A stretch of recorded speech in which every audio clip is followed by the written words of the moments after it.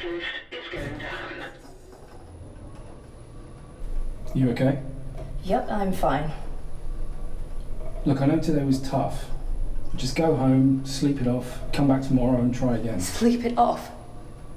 You should never have let me perform that procedure in the first place. I gave you an opportunity to learn.